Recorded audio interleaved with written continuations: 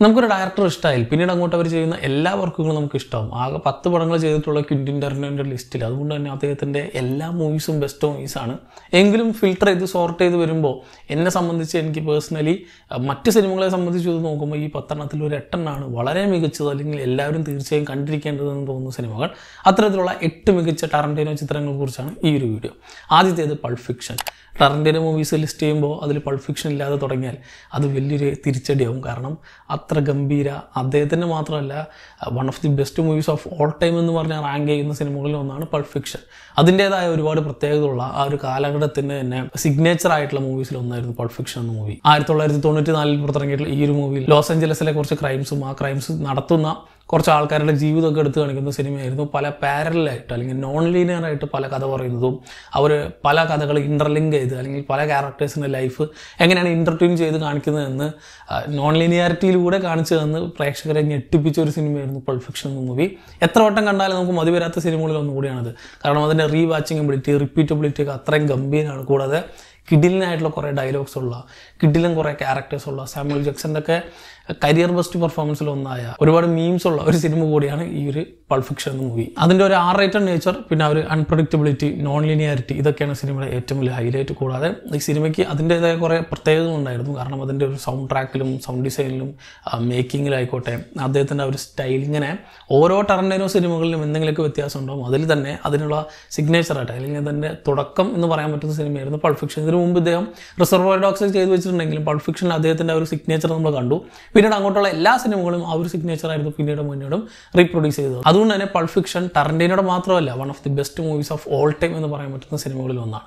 മറ്റൊന്ന് കിൽ ബില്ലിന്റെ volume one and to ഇത് രണ്ട് സിനിമകളാണ് അതുകൊണ്ടാണ് രണ്ടായിട്ട് പറഞ്ഞത്. ഒരു ബാക്ക് ടു ബാക്ക് ആയിട്ട് പുറത്തിറങ്ങിയ സിനിമകളാണ്.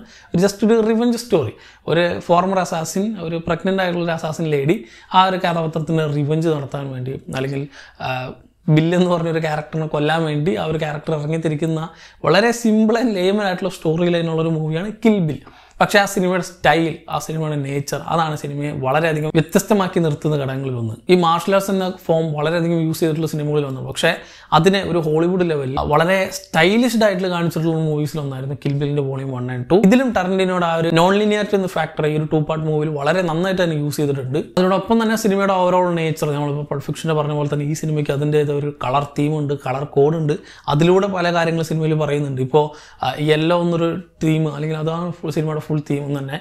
പക്ഷേ അതിൽ തന്നെ പല കളറും കോൺട്രാസ്റ്റ് ആയിട്ടുള്ള കളറും കയറി വരുമ്പോൾ കാണാൻ ഭയങ്കര രസമുള്ള ഒരു സിനിമ കൂടിയാണ്. കൂടാതെ ഇതിന്റെ ആക്ഷൻ സീക്വൻസുകൾ ഇതിൽ ഉപയോഗിക്കുന്ന ബാക്ക്ഗ്രൗണ്ട് മ്യൂസിക്കുകൾ ദൻ ഇതിന് ആ ഒരു ടോട്ടൽ നേച്ചർ ഒരു കോമിക്കൽ ഫിലിമായിട്ട് നമുക്ക് പറയാൻ പറ്റുന്ന മൂവി കൂടിയായിരുന്നു കിൽബിൽ പിന്നെ ഇതിന്റെ മറ്റൊരു പ്രത്യേകത നമ്മൾ ഇന്ത്യക്കാരെ സംബന്ധിച്ച് നമ്മുടെ കമലഹാസന്റെ ആളവന്താൻ എന്ന സിനിമയിൽ യൂസ് ചെയ്തിട്ടുള്ള ഒരു സീക്വൻസിൽ ഇൻസ്പയർഡ് ആയിട്ടൊക്കെ കിൽബിൽ ചെയ്തിട്ടുണ്ട്. സോ അതും ഇന്ത്യക്കാരെ സംബന്ധിച്ച് വലിയൊരു പ്രൗഡ് മൊമെന്റ്സിൽ ഒന്നാണ്. കാരണം അദ്ദേഹം തുറന്ന് പറഞ്ഞിട്ടുണ്ട് ഈ സിനിമയിൽ നിന്നും അഡാപ്റ്റ് ചെയ്ത് അല്ലെങ്കിൽ നിന്നും ഇൻസ്പയർഡ് ആയിട്ടാണ് കിൽബിൽ ചെയ്തിട്ടുള്ളത്. സോ അത്തരത്തിൽ ആക്ഷൻ സീക്വൻസുകൾ കൊണ്ടും അതിന്റെ ഒരു സ്റ്റൈലിഷ് നേച്ചർ കൊണ്ടും കളർ തീം കൊണ്ടും ഒക്കെ വളരെയധികം വേറിട്ട് നിൽക്കുന്ന ടർണ്ടിനോട് തന്നെ വൺ ഓഫ് ദി ബെസ്റ്റ് വർക്കുകളായിട്ട് പറയാൻ പറ്റും.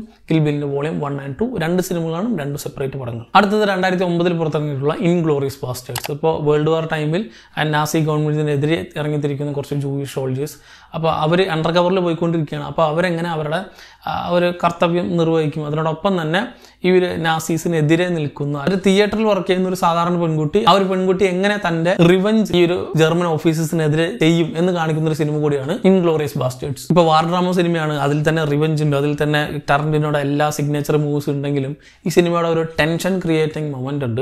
ഇപ്പോൾ നമ്മൾ ടർണ്ടിനോട് തന്നെ ഹെയ്റ്റ്ഫുൾ ആയിട്ട് എന്ന സിനിമയിൽ കാണുന്ന പോലെ തന്നെ പല സീക്വൻസുകളും വളരെ ഇന്റൻസ് ആയിട്ടുള്ള പല സീക്വൻസുകളും അതിങ്ങനെ ബിൽഡ് ചെയ്ത് ബിൽഡ് ചെയ്ത് കൊണ്ടുവന്ന് നമ്മളിങ്ങനെ സീറ്റിന്റെ അറ്റത്ത് കൊണ്ടിരുത്തി ഇപ്പം പൊട്ടും ഇപ്പം പൊട്ടും എന്ന് നമ്മൾ പറയുന്ന പോലെ തന്നെ. ആ ഒരു ടെൻഷൻ ക്രിയേറ്റിംഗ് മൂവ്മെന്റ് അങ്ങേ അറ്റത്തുള്ള പല സീക്വൻസുകളും പീക്കായിട്ടുള്ള കുറേ സീക്വൻസുകൾ ഈ ഒരു ഇൻഗ്ലോറിയസ് ബാസ്റ്റേഴ്സ് എന്ന സിനിമയിൽ നമുക്ക് കാണാം. അതിപ്പോൾ എടുത്തു പറയത്തക്ക ഒരുപാട് സീക്വൻസുകളുണ്ട് പക്ഷേ അത് ഏതാന്ന് പറഞ്ഞ സിനിമയുടെ ഒരു ആസ്വാദനത്തെ ബാധിക്കും. സോ കണ്ടു നോക്കുക കണ്ടിട്ടില്ലെങ്കിൽ തീർച്ചയായും കണ്ടു നോക്കുക. ഒരു നോർമൽ മൂവി അല്ല. അതിന്റേതായ ഒരു നേച്ചർ ഉണ്ട്.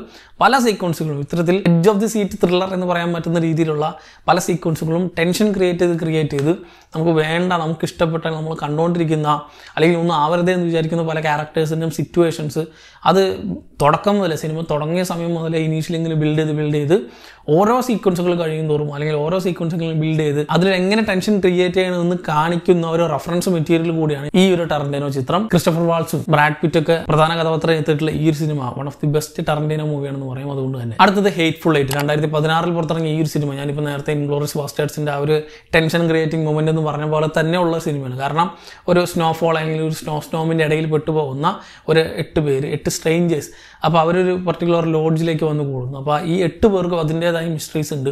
അതിൽ കുറേ പേര് ബൗണ്ടി ഹണ്ടേഴ്സ് ഉണ്ട്. ഇത്തരത്തിൽ ആ ഒരു വെസ്റ്റേൺ കൾച്ചറിലുള്ള സാധനം ആ ഒരു സമയത്തുള്ള ഒരു കൂട്ടം ആൾക്കാരുടെ ഇടയിലുള്ള കുറച്ച് കാര്യങ്ങൾ എടുത്ത് കാണിക്കുന്ന ഒരു സിനിമയാണ് സോ ഒരുപാട് മിസ്റ്ററീസ് ഉണ്ട്. ഈ ഒരു ക്യാരക്ടേഴ്സ് ആരൊക്കെയാണെന്ന് മെല്ലെ മെല്ലെ റിവീൽ ചെയ്ത് വരണം. അതിനിടയിൽ തന്നെ ഒരുപാട് കാര്യങ്ങൾ.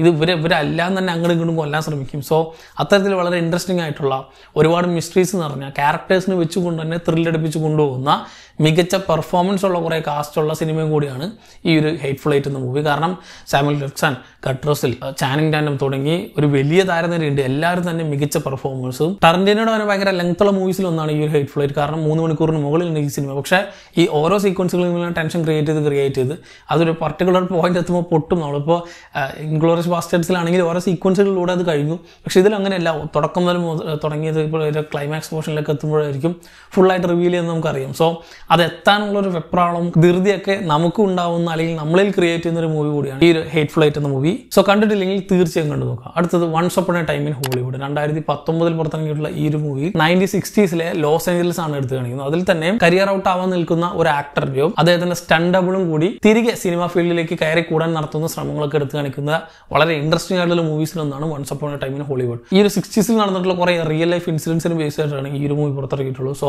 അതിനെ ഡയറക്റ്റ് ആയിട്ട് ആ ഒരു ഡോക്യുമെന്ററി മോഡിലല്ല ടറന്റിനോട് സ്റ്റൈൽ അദ്ദേഹത്തിന്റെ ആ ഒരു ഫോർമാറ്റിൽ എടുത്തിട്ടുള്ള കുറച്ച് സ്ലോ പേസ്ഡ് ആണെങ്കിലും നമ്മളെ വളരെയധികം ഇൻട്രസ്റ്റിംഗ് ആയിട്ട് നമുക്ക് കണ്ടിരിക്കാൻ പറ്റുന്ന മൂവീസിലൊന്നാണ് once upon a time in Hollywood ഇതിന്റെ ആ ഒരു കാസ്റ്റ് ലിസ്റ്റ് ആണ് ഈ സിനിമ വളരെയധികം ഇൻട്രസ്റ്റിംഗ് ആക്കുന്നത്. കാരണം ഈ സിനിമയിൽ നമുക്ക് ബ്രാഡ് പിറ്റ് ഉണ്ട് Leonardo DiCaprio Margot Robbie ഈ ഒരു മൂന്ന് പേരുടെയും ഇഡിലും പെർഫോമൻസ് കാണാൻ പറ്റുന്ന ഒരു മൂവിയുടെയാണ് once upon a time in Hollywood അടുത്തത് ജാങ്കോ അൺചെയിൻ രണ്ടായിരത്തി പന്ത്രണ്ടിൽ പുറത്തിറങ്ങിയിട്ടുള്ള ഒരു western drama stylised western drama മൂവിയാണ് ജാങ്കോ അൺചെയിൻ എന്ന് പറയാം. കാരണം ഒരു സ്ലേവ് ഒരു സ്ലേവ് ഒരു ഒരു ബൗണ്ടി ഹണ്ടറിന്റെ കൈ കിട്ടുന്നു അദ്ദേഹത്തെ. സോ ആ ഒരു ബൗണ്ടി ഹണ്ടർ അദ്ദേഹത്തെ ട്രെയിൻ ചെയ്യിപ്പിക്കുന്നു. മെയിൻ ഉദ്ദേശം ഈ ഒരു സ്ലേവിന്റെ കാണാതായിട്ടുള്ള വൈഫിനെ റെസ്ക്യൂ ചെയ്യാൻ വേണ്ടിയിട്ടുള്ള ഒരു മിഷൻ അതിനുവേണ്ടി പോകാനുള്ള ട്രെയിനിങ് ഒക്കെയാണ് ഇവർ പ്രധാനമായിട്ട് നടത്തുന്നത്. അപ്പോൾ ഈ വൈഫ് ഉള്ളത് ഒരു എസ്റ്റേറ്റിലാണ് നമ്മുടെ ഡിക്കാപ്രിയോ നടത്തുന്ന ഒരു എസ്റ്റേറ്റ് അവിടെ സാമുവൽ ജാക്സന്റെ ക്യാരക്ടർ ഉണ്ട്.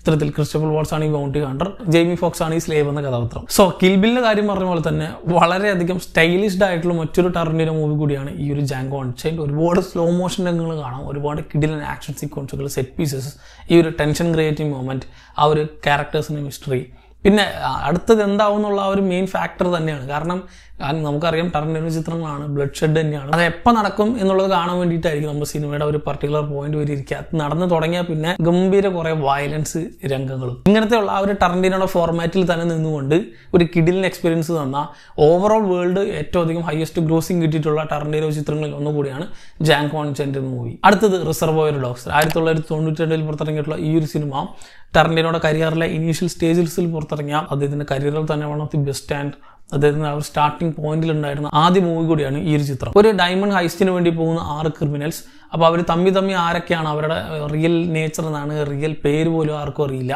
പക്ഷെ അവരെല്ലാവരും കൂടി ഒരു ഗ്രൂപ്പായിട്ട് പോകുന്നു. അതിനിടയിൽ പോലീസ് അവർ അറ്റാക്ക് ചെയ്യുന്നു. അപ്പോൾ പോലീസ് അറ്റാക്ക് ഉണ്ടായി കഴിഞ്ഞപ്പോൾ ഈ ആറ് പേർക്കുള്ളിൽ തന്നെ ആരോ ഒരാൾ പോലീസ് ഓഫീസറാണെന്ന് അവർ മനസ്സിലാക്കുന്നു. പക്ഷെ അത് ആരാന്നറിയില്ല. പിന്നീട് നടക്കുന്ന കാര്യങ്ങളൊക്കെ എടുത്ത് കാണിക്കുന്ന വളരെ ഇൻട്രസ്റ്റിംഗ് ആയിട്ടുള്ള മൂവീസിലൊന്നാണ് റിസർവ് റിസർവോയർ ഡോഗ്സ് ഈ സിനിമ തൊണ്ണൂറ്റി രണ്ടിൽ പുറത്തിറങ്ങിയ സിനിമയാണ്. ഇപ്പോൾ സിനിമ കുറച്ചൊക്കെ അപ്ഡേറ്റഡ് ആണെന്ന് പറയാം. കാരണം ഈ സിനിമയിൽ ഇതേ കോൺസെപ്റ്റ് എടുത്ത് പല സിനിമകളും നമ്മൾ കണ്ടിട്ടുണ്ട്.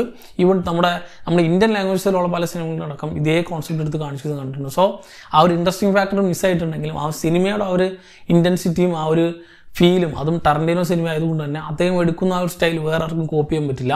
കഥ കോപ്പി ചെയ്യാൻ പറ്റുമെങ്കിലും അദ്ദേഹത്തിന് ആ ഒരു സ്റ്റൈലും നേച്ചർ അതേപോലെ തന്നെയുള്ള അദ്ദേഹത്തിന്റെ ഒരു സിഗ്നേച്ചർ പതിപ്പിച്ചിട്ടുള്ള മൂവീസിൽ ഒന്നും കൂടിയാണ് റിസർവർ ഡോഗ്സ് എന്ന സിനിമ ഈ എട്ട് സിനിമകളാണ് ടർണ്ടീനോയുടെ കരിയറിൽ തന്നെ എനിക്ക് ഏറ്റവും ഇഷ്ടപ്പെട്ട എട്ടെണ്ണം പറയാം. ഇതല്ലാതെ രണ്ടെണ്ണം ഉള്ളത് ജാക്കി ബ്രൗണും ദെൻ ഡെത്ത് പ്രൂഫുമാണ് ജാക്കി ബ്രൗൺ കമ്പാരിറ്റീവ്ലി എനിക്ക് ഈ ഒരു എട്ടെണ്ണം വെച്ച് നോക്കുമ്പോൾ കുറച്ചൊക്കെ കുറവ് ഇൻട്രസ്റ്റിംഗ് ഉള്ള ഒരു സിനിമയായിട്ടാണ് എനിക്ക് പേഴ്സണലി തോന്നുന്നത്. കൂടാതെ ഡെത്ത് പ്രൂഫ് എന്ന സിനിമ അതിൽ ആ ഒരു ആക്സിഡന്റ് സീനും പിന്നെ പല സീക്വൻസുകളും ഇൻട്രസ്റ്റിംഗ് ആണെങ്കിലും മൊത്തത്തിൽ ആ ഒരു ടർണ്ടിനോട് ടച്ച് കുറവുള്ള കമ്പാരിറ്റീവ്ലി ഈ സിനിമകൾ വെച്ച് കുറവുള്ള സിനിമയായിട്ടാണ് എനിക്ക് ഡെത്ത് പ്രൂഫ് തോന്നിയിട്ടുള്ളത്. So Jackie Brown and death proof ആണ് ടർണ്ടിനയുടെ മറ്റ് സിനിമകൾ. ഇത് കണ്ട് എല്ലാം കണ്ടു കഴിഞ്ഞവരാണെങ്കിൽ അതും കൂടി ചെക്കൗട്ട് ചെയ്ത് നോക്കും അപ്പോൾ ഞാൻ ഈ പറഞ്ഞ ലിസ്റ്റിൽ തന്നെ നിങ്ങൾക്കേറെ ഇഷ്ടപ്പെട്ട ടർണ്ടിന്റെ ചിത്രങ്ങൾ ഏതെന്ന് അത് എന്തുകൊണ്ടെന്നും താഴെ കമന്റ് ബോക്സിൽ കമന്റ് ചെയ്യുക. മറ്റൊരു വീഡിയോയിലൂടെ വീണ്ടും കാണാം. നന്ദി.